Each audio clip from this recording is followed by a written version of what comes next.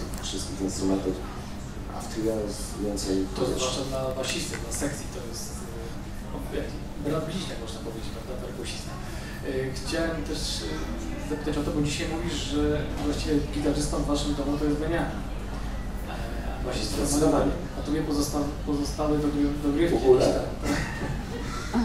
I- No i jeszcze wokal e, wciąż. I harmonika. Y, Powiedz, gdzieś tam cały czas y, w różnych wywiadach, rozmowach przewija się ten temat, że ty myślisz i mo- może nawet trochę marzysz o tym, żeby, żeby się we trzech nagrać płytę.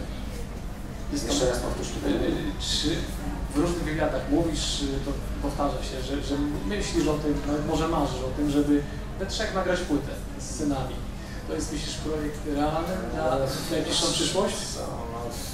Kurczę, to jest tak, że mm, chłopaki tam dosyć często teraz działają w tym swoim zespole The Raptors.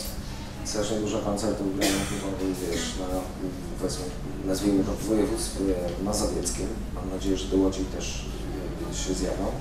Fajnie grają, muszę przyznać, że tak zupełnie jakby patrząc na to w boku, grają takie, no, dla mnie to trochę jakby takie połączenie takich, takich, takich trochę y, takiego rock'n'rolla czy rocka pachnącego kaktusami y, z, z, z jakimś Jane's Addiction, z czymś takim. Y, Podoba mi się to, co robią i trochę są, wydaje mi się, y, bezkompromisowi.